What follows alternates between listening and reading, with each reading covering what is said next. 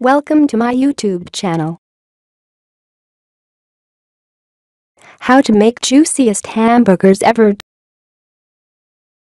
2 pounds ground beef. 1 egg, beaten. 3 fourths cup dry breadcrumbs. 3 tablespoons evaporated milk. 2 tablespoons Worcestershire sauce. 1 8 teaspoon cayenne pepper. 2 cloves garlic, minced. Directions Preheat grill for high heat.